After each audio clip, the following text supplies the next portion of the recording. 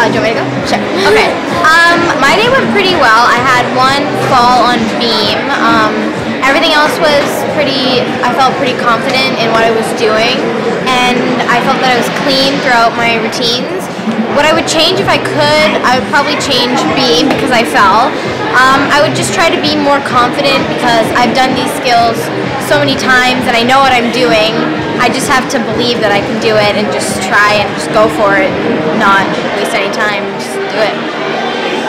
Yeah, I would say the same thing for beam. Like my day went okay, but uh, could have been better. But uh, for beam, I just needed to be more confident. Uh, for floor, I just needed to feel where I was and feel my punch and everything. Fortunately, that didn't go too well either, but that's okay. We always have a next time. Actually, it was pretty good because I competed at Gymnix and in Italy as a junior, so that gave me experience for this year. So I already knew kind of how my competitors would be like, you know, so I, I enjoyed it. Yeah. Um, yeah, I think for me the transition was it was it was well. Um, I had known a lot of the girls. For example, Megan, I used to train with her, and I sort of transitioned when she transitioned. So it was sort of the same environment, um, and it was it was good.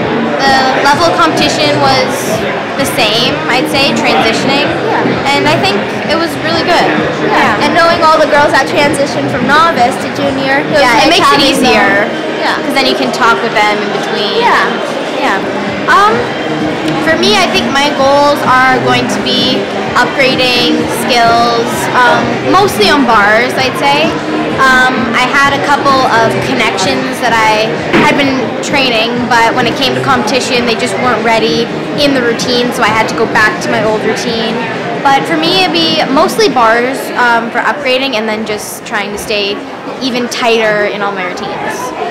For me, upgrading, I think since I'm not very, I'm not a powerful gir- girl, so floor and vault would be my two events for uh, improving. So, but other than that, I think I'm okay for now. But just need keep improving my tightness and quality of my skills. So I think I'm good with that. Yeah, um, for me, I definitely, when the opportunity comes, I'll definitely take it, whether it's in Tokyo or in Montreal for Worlds in 2017. Um, I'm definitely feel that I could I could be there. Um, and for as opposed to university, I do want to go into NCAA. I've seen a lot of the girls from our gym have gone, and they seem to really enjoy it. So I think it'd be a great opportunity for university. Yeah. Yeah, unfortunately, I'm not able to go 2017.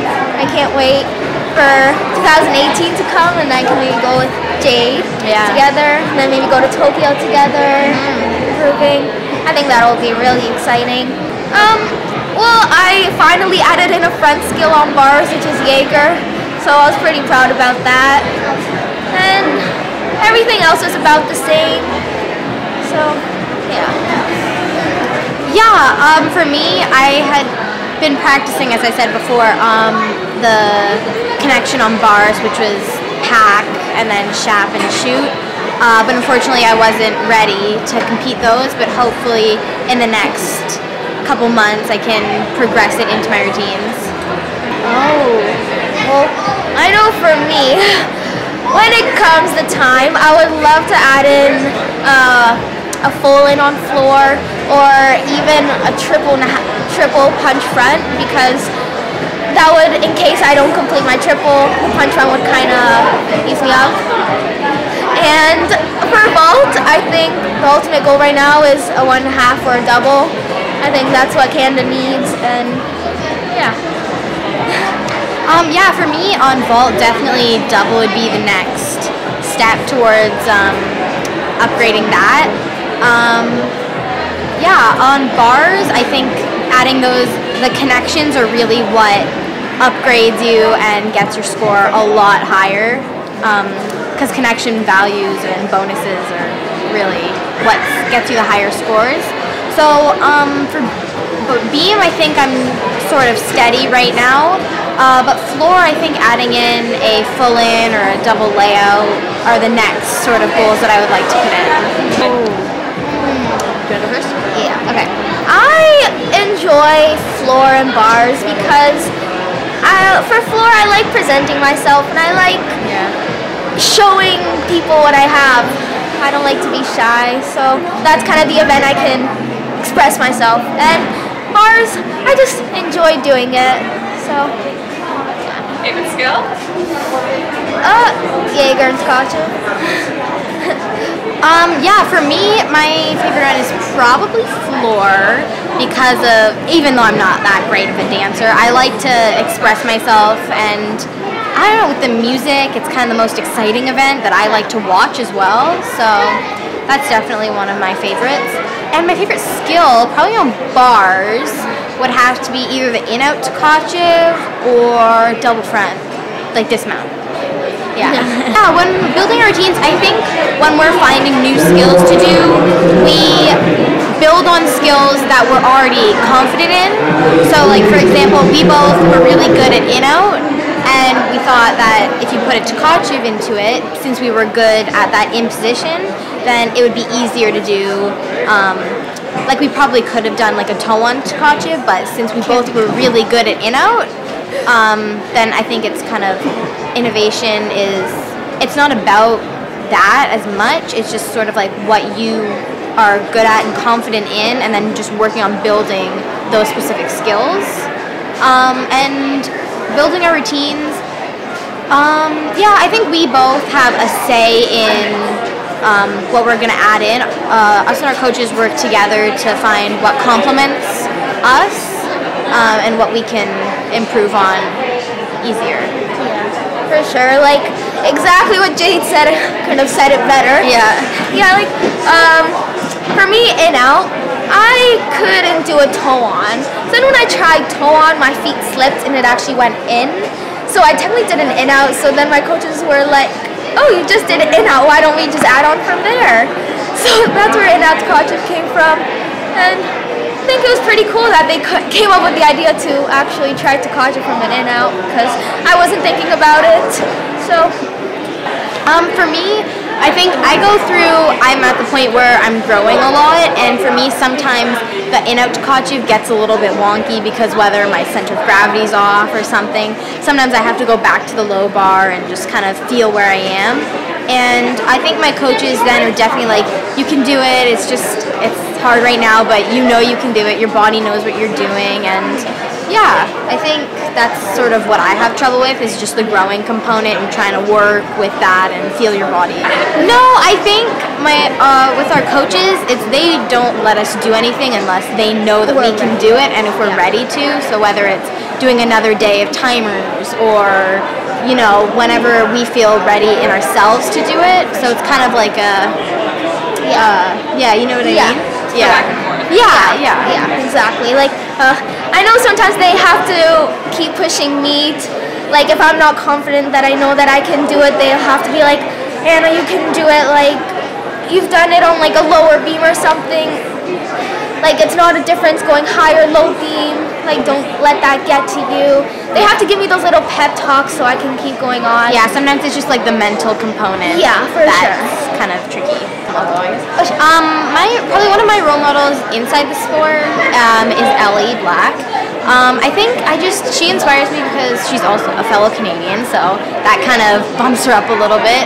And just the fact that she's, uh, I've had the opportunity to train with her a little bit, whether she comes to our gym um, to train with us, but I think she's just a really hard worker, and I look up to that, and I think I strive to say, okay, I can do it, you know. And I think just because she went to the 2016 Olympics, but she's still in it to do even better. Oh, 2012. I'm so sorry. I'm sure, I'm sure it should be at 16. Yeah, that's what I mean. She went to the 2012 Olympics and she did really well, but she's still striving for the 2016 and to keep going. And I really admire that. I think it's really great of her to do that. Yeah. I definitely agree 100% with that. Ellie is definitely a role model. Probably not not just for all the Canadians, but for people all around the world, especially with Pan Am's and like Jade said, going to one Olympics Yeah. now striving for another. And another one is Kristina because she went to our gym and she was a non-stop worker. So that's Yeah. what Elena tries us to do. And since we've seen that happen, like, you know, we have to try and do it too to be able to get up to the level that she went. And another person for me, even though she's American, I really liked uh, Carly Patterson. Is that her name? Yeah. Yeah. Okay. um, I really liked her style of gymnastics. It was very like graceful, you know, artistic. Yeah. And I really liked that. And she had some really unique, nice skills, like her beam dismount, her round off back handspring, double Arabian. I think that was really cool. So, yeah. And then anyone outside of the sport? Um, for me, outside the sport, I'm gonna have to say my parents, just because they they inspire me. They make so many sacrifices for me, and I just they're they work hard every day, and and they're really good people, and I admire that so much. I look up to them. Yeah, I totally agree. Coming home from work to pick me up from school every day, like having to miss out all that, I think that's a great sacrifice. And all my coaches, all the hard work they put in to helping me. Oh yeah, they And they yeah they work really hard yeah, for sure. to help us be where we are. And even all my friends actually, they all they all text me like before competition, like good luck, and even just that little bit of it just helps me. Yeah, um, even my family yeah. texted me after, and they were like, "You did so good. We watched you on the live stream," and I was just like, it was exciting to know that even though they're not here, they're still watching. Yeah. Yeah. Oh. See, You're amazing at tumbling. for me, I'm more of a punchy person than an artistic person, so I would have to say tumbling, just because I'm not very graceful. But yeah. I actually don't mind either, but since I did ballet when I was little, like jazz and all that, like I like dancing, I like showing off, but I don't mind tumbling either. I think it's really fun. We kind of can't have gymnastics without both. So. Yeah, Yeah. exactly. Oh, um, I started gymnastics when I was three or four. When I started competing, probably I remember I did ODP, so that would be in like uh, like eight maybe Me, it was like six or seven. six, seven, eight. Yeah, somewhere around there. I don't remember exactly, but it was somewhere there. Yeah. everything about it, really. There's not one specific thing, to be honest. with Yeah. I think it's sort of like I like the I like the sport and being able to flip around, and I think it's really, Really cool. Yeah, but also for me, it's not just like the sport; it's also the people in the sport. It's like like my coaches and my teammates, and. You just go and like seeing them every day in the gym. Like, yeah. Oh. You can school, go. Go ahead. homework. homework is the priority, but like on weekends and stuff, I love hanging out with my friends whenever I can, like going shopping, going to see a movie, going swimming. I love to like relax. Yeah. That's about my daily activities. Yeah. Oh, and I love skiing. I love skiing. Oh. Yeah, um, a typical day for me is I actually live in Toronto, but I train in Oshawa. So I stay at my friend's house who also goes to the gym a couple nights a week. Um, and I also go to school near the gym. So go to school, go have lunch,